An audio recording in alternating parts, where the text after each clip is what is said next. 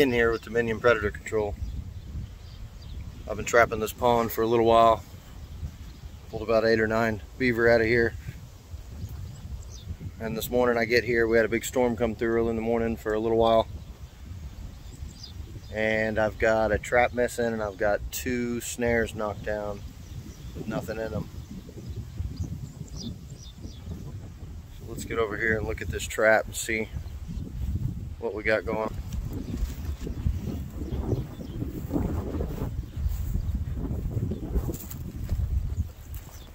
You can see this uh, tree had been knocked down last season or so.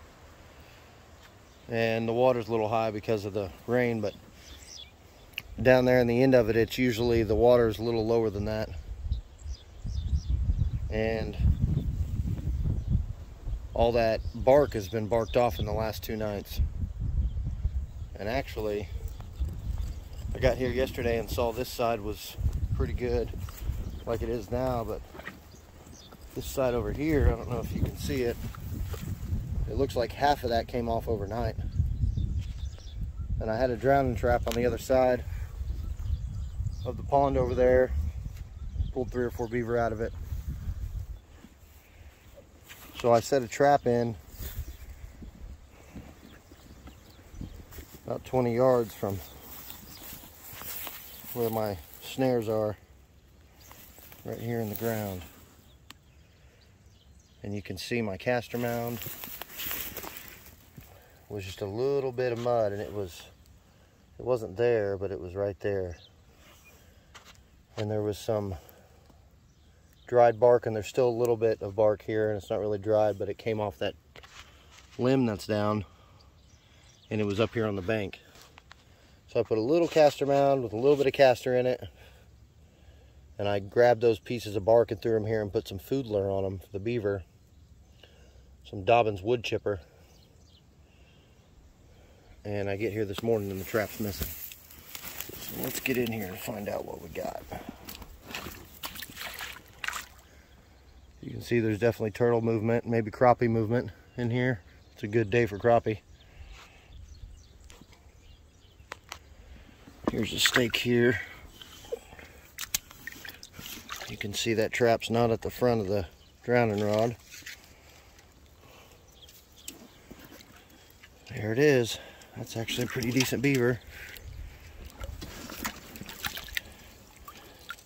Female. Looks like she's nursing her young already. Turtle's got a hold of her. Maybe one of the other beaver got a hold of her. One of her pups.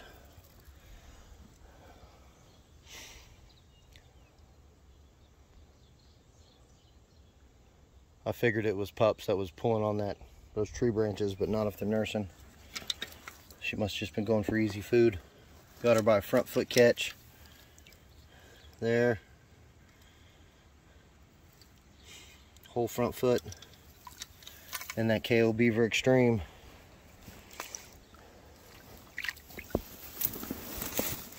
But a little bit of wood chipper here in the spring.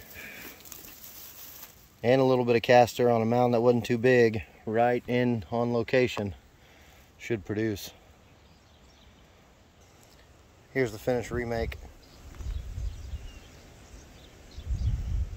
Not a lot of guiding. Trying to lessen up on my guiding a little bit so I don't cause any by spooking the trap shy beaver after I've been trapping these areas as long as I have, just about everything that's left is something that's already seen something get caught or just happens to be traveling through.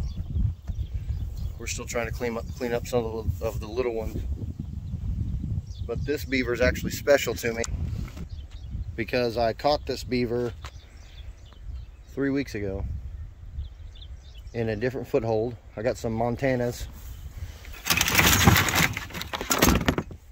Montana number fives there. And they got dogless pans. Pretty easy to set. If I could put the phone down, I could show you how easy they are to set.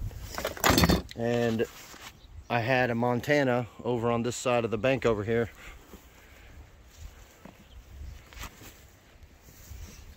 and I had a tow, but no beaver.